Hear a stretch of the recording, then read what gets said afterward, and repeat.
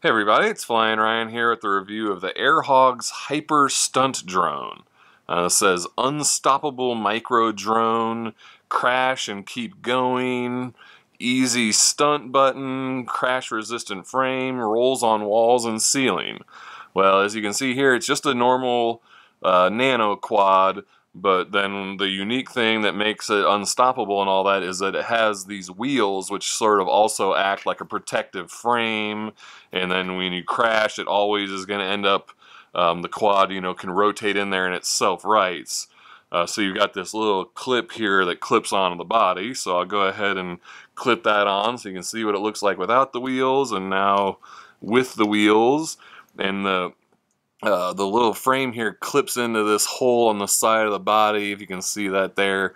It's a little bit tricky. It doesn't quite reach so you have to sort of force it into place and you can hear it snap in. So you kind of push down get in there. Uh, it's kind of awkward to get it. There we go. There it snapped into place. So yeah once it kind of snaps in and locks into that hole now it's on there good and tight so as you can see, it you know it, it kind of works like a protective frame and bounces around, and then the quad it does sometimes land on the side like that. But the quad can't stay upside down. It always ends up flipping right side up. And then you can use that to drive around on the ground if you want, or drive up walls or along the ceiling. Um, as you can see, it is pretty bouncy though. It kind of works more as a crash resistant frame, it's kind of hard to like fly up to a wall and stick to the wall or the ceiling because it tends to bounce off. Uh, so it's pretty tricky to get it to actually drive on the walls or ceiling because it just always ends up springing off of them. But if you're nice and smooth on the controls or just kind of roll up to the wall and then start climbing up it, you can uh, drive along the walls and stuff. Let's see if I can get it to stay in place on my table here while I move on to other things. So this is our transmitter here, which is a you know pretty small, convenient, easy to carry transmitter. Matches the size of the quad well. Um, you know, pretty standard, not really much to it. We've got two rates here with the one and two buttons. So, you know, two is going to be a little bit faster. Uh, the yaw rate does change, but just barely, and it's a little bit on the slow side. So, I mean, for what they call hyper stun, I feel like it turns a little bit slow. It's it can feel a little bit sluggish. Um, it can do flips by you hold this button here on the top left corner, you press and hold that, and then move the right stick in whatever direction you want to flip. Uh, it can flip with the wheels on, but it you know with the extra weight, it can get a little bit uh, squirrely after a flip. It can kind of want to get out of control or you know lose a lot of height because of the extra weight. Uh, so it definitely flips better without the wheels, uh, but it can do it with the wheels as well. Uh, let's see. Um, it does come with a full set of spare props. And we've got a little USB charging cable here, so you plug that in the quad and uh, plug this into USB first, then plug that in the quad. Uh, you cannot charge off the transmitter um, it has a 140 milliamp hour internal battery, so a pretty big battery for a nano quad, but there's no access to it, so you can't swap it out or anything. Uh, it takes about 40 minutes to charge. Uh, with the wheels on, you get about 3 minute and 25 second long flights with a 1 minute and 25 second LVC warning. So a really long LVC warning um, and about 4 minute and 50 second long flights total. Without the wheels on, you get 4 minutes and 15 seconds. Uh, again, with a 1 minute and 25 second LVC warning, so about 5 minutes and 40 seconds without the wheels on. Uh, let's put that over there so it doesn't roll away. You can recalibrate it by holding both sticks down right, so put both in the down right corner and that'll recalibrate the accelerometer. I would suggest doing that without the wheels on so that you can make sure the quad is sitting on a nice level surface. Um, let's see. Anything else to say?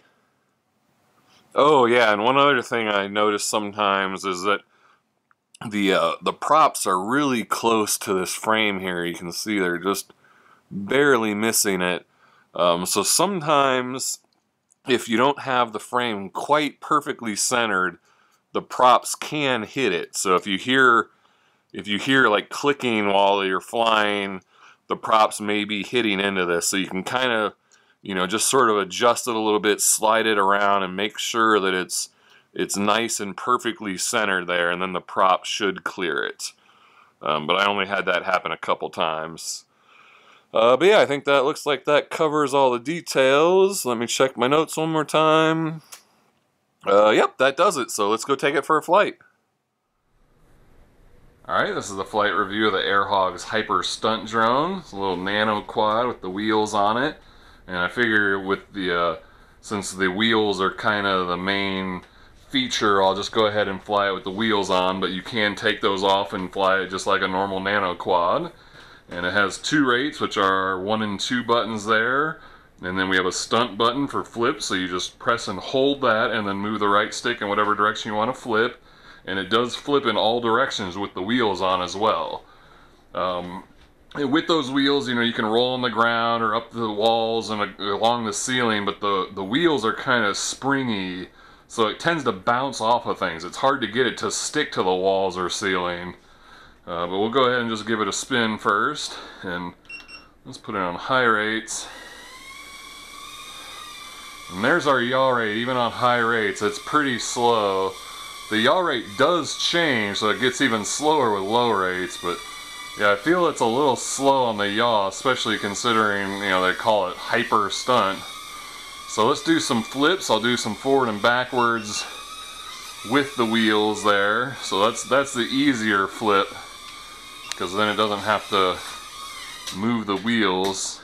It, the nice thing about these wheels is it does always recover um, however, it can get a little tricky to get it flying again. There we go. You gotta let it kind of level out before you take off. So now let's do some left and right flips over the wheels. Oops. There we go. So yeah, it gets it can do them, but it gets a little a little sloppy after that because it's rolling those wheels over. So that's quite hard for it to recover from. It's really better to just flip forward and backwards when you've got the wheels on and then leave the left and right flips for when you don't have the wheels on. I'll see if I can get it to stuck stick to the ceiling, but it's it's really hard because it bounces off. You've got to, man, even just super slowly approaching the ceiling, it wants to bounce off. Come on. Come on, do it. Oh, man. Yeah, man, it is super hard to... Let me just stick it to the ceiling. Man, even then it wants to unstick itself. Just kind of bounce along. Oops.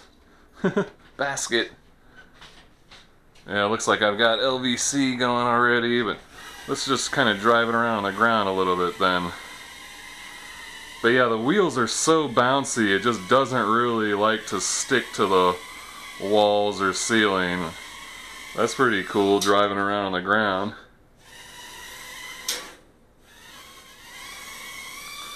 Alright, let's see if I can take it in for a landing before the battery dies. Probably not going to really be able to land it with these wheels, it's just going to bounce and roll off. Whoa! Man, I almost had it. Let's try that again. Oh, it's full throttle. My battery's about dead. Oh,